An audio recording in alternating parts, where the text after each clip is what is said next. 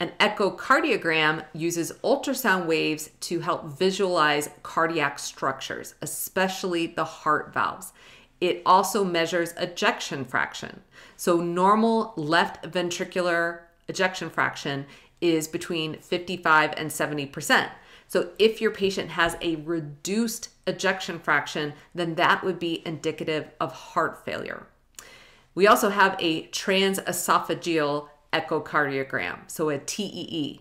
This is where a transducer is placed down the esophagus to provide a more detailed view of those cardiac structures. And this procedure is done under conscious sedation.